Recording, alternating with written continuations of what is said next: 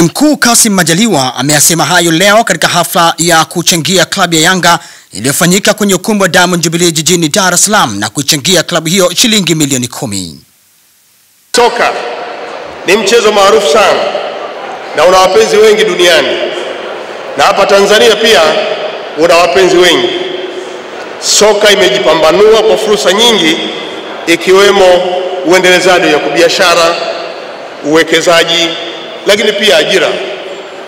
Pia kulitangaza pia hata taifa, taifa letu.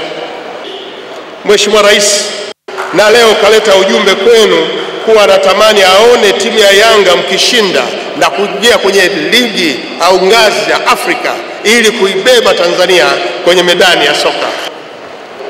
Bila Yanga imara huwezi kuwa na Simba imara, na bila kuwa na Simba imara huwezi kuwa na Yanga imara. Naye rais mstaafu wa awamu ya nne Dr. Jakaya Mrisho Kikwete amewataka wanachama wa Yanga warudishe hisia na mapenzi kwa timu yao kama ilivyo kwa timu ya Simba, pia wawe na ubunifu. Hebu jaribuni ku, kurudisha ile Waingereza sema glory, yani ile, ile hisia ile ya, ya kuwa mwanachama wa Yanga.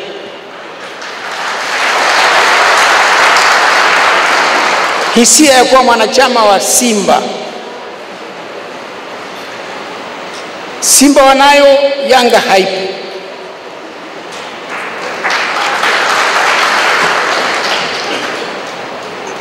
Kama kama naongopa basi